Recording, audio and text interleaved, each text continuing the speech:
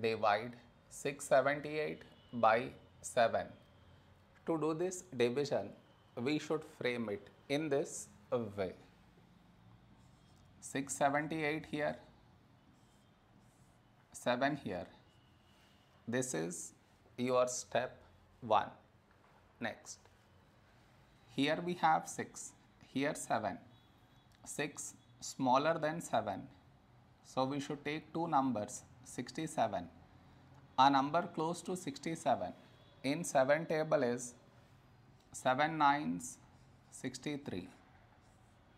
Now we should subtract, we get 4. After this, bring down the beside number. So 8 down, so 48.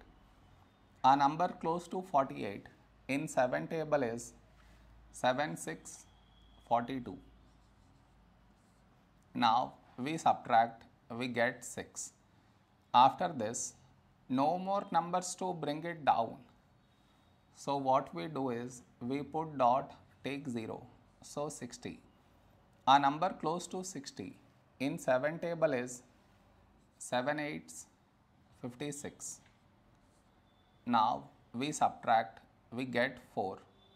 After this we already have the decimal so directly take 0 so 40.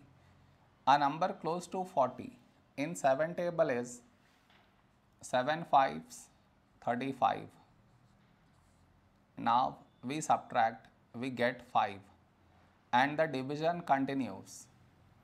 It is enough if we do up to 2 decimal places.